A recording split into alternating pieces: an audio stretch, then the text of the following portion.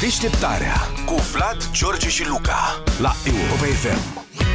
Cazuri cu asfaltări, de exemplu în Craiova, S-a asfaltat în Craiova? meșteri mari, calfe și asfaltari Și asfaltari, da. au asfaltat în jurul unei mașini. Păi asta îmi place, știi? Oamenii care își iubesc atât de mult meseria nu se pot opri.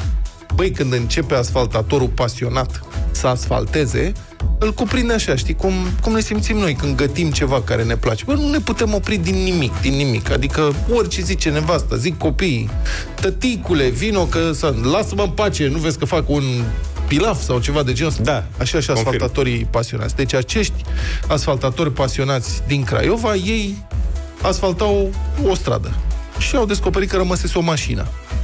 Și proprietarul au fluierat după el, s-a întâmplat ceva, n-a venit la timp, au sunat la hingherii de mașini. Hingherii de mașini și ei pasionați, dar în altă zona orașului, probabil, pentru că nici ei nu au venit la timp, așa că asfaltatorii nu s-au mai putut abține și i-au dat drumul la bitum. și, și compania declară, citată de G4 Media, un reprezentant zice, șoferul, adică șoferul cu mașina de pe traseul asfaltatorilor. Uh-huh. E o stradă, este o poză, strada Odobescu din Craiova. O stradă cu minte, cinstită, civilizată, micuță, pașnică. Șoferul a fost așteptat destul de mult. Am sunat și la ridicări.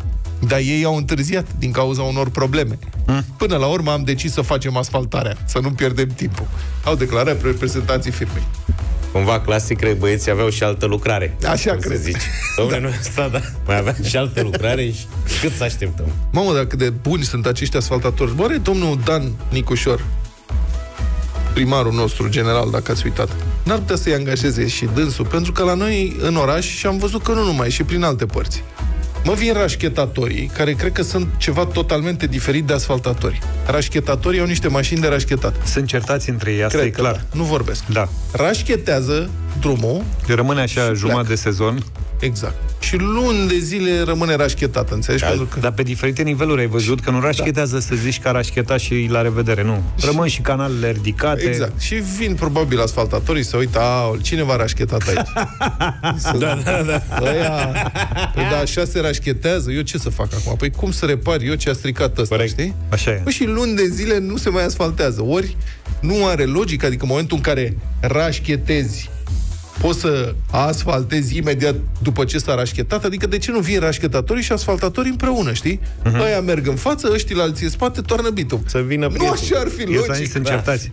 Dar cel mai tare e că după ce vin asfaltatorii, Da, băi, ca un făcut, că Murphy trăiește, aproape întotdeauna vin și băieții de la gaze. da. Și se mai sparg, întâmplă și Da, asta. da, și sparg da, strada da, da. ca să fie tot ok. De nenumărate ori. Avem și noi o lucrare, prieteni, aici. La pe- asta mă gândesc. Pe calea șoseaua Pipera, în drum spre redacție. Acolo, în urmă, am mai vorbit despre asta, în urmă câțiva ani, în mandatul doamnei... Doamnei Firea. Gabi. Doamna, da, doamna Gabi, mandatul doamnei Gabi s-a făcut o pistă de biciclete. Mhm. Și pe o distanță de maxim 300 de metri. Da, Atât. Pe, era, e un separator de sensuri foarte bun, sepa, lăsați-l acolo, separatorul de sensuri este foarte bun, că se mergea destul de tare, nu știu, nu, de alea de beton. Uh-huh. Dar rezultatul a fost că pista de bicicletă a transformat cele două benzi într-o bandă jumate. Așa e. Și luni de zile s-au gândit, bă, ce să facem, ce să facem, cum facem noi acum? Și după un an, cred, le-a venit ideea. Au mutat separatoarele de sens Maia Cana, Acum le-au mutat că au și lucrare. da, mă le-au mutat Maia Cana la stânga cum ar veni și practic au mai îngustat benzile dintr-o parte, le-au mai lărgit pe astea la alte din cealaltă parte și cât de cât se poate circula, sunt și niște bicicliști pe pista de biciclete, pot să parcheze dubele care aduc marfă fără...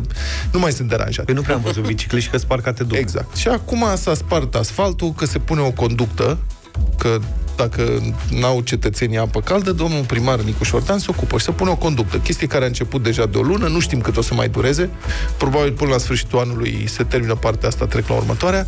Și ce să facă, ce să facă, au mutat din nou separatoarele de sens mai la stânga uh-huh. și rezultatul acum este că este o bandă și un sfert pe un sens și o bandă jumătate pe celălalt sens, dar poate cine știe, măcar apă caldă o să fie.